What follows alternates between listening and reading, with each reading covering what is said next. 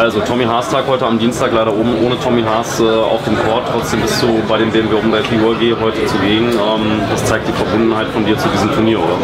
Ja, auf jeden Fall. Erstens möchte ich mich natürlich bedanken beim Turnierveranstalter Michael Mons natürlich beim Turnierdirektor Patrick Kühn, dass es überhaupt so einen Tag gibt.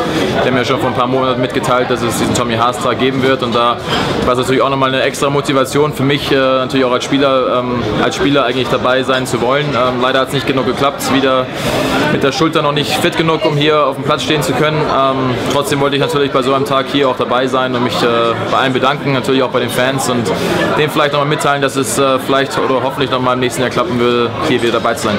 Würden wir uns sehr, sehr freuen. Zu diesem Jahr, Andy Murray ist am Start, äh, Philipp Kohlschreiber ist am Start, Gilmo Fiss hat jetzt verletzt abgesagt. Ja. Ähm, das Turnier ist relativ gut besetzt. Ähm, wie schätzt du das Feld ein? Ja, sehr stark. Sehr starkes Teilnehmerfeld. Auch ein Bautista ist hier dabei und ein Fonini, die wirklich auf Sand auch, sag ich mal, sehr, sehr gutes Tennis spielen. Ähm, Philipp Kohlschreiber, der hier auch immer sehr gutes Tennis spielt. Natürlich auch immer eigentlich so ein geheimer Favorit. Äh, den muss man erstmal hier besiegen, was sehr, sehr schwer sein wird. Aber klar, mit Andy Murray haben wir hier einen von den ersten Top 4 Leuten, der hier, sag ich mal, auch äh, schon zwei Grand Slam Turniere gewonnen hat, Olympiasieger ist. Also eine, eine, ein richtiger, sag ich mal, Top-Profi. Und das ist auch sehr schön, glaube ich, mal hier für die Zuschauer mal wieder einen von denen hier äh, live spielen sehen zu können. Ja, du willst nochmal richtig angreifen für deine Fans. Vielleicht im, im nächsten Jahr, 2016, klappt es dann?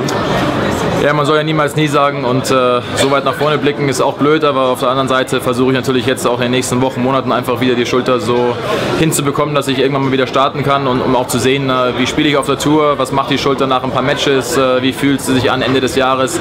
Aber klar, wenn ich fit bin und die Schulter hält und ich kann einigermaßen noch gutes Tennis spielen, dann möchte ich natürlich unbedingt nochmal hier in den Start gehen.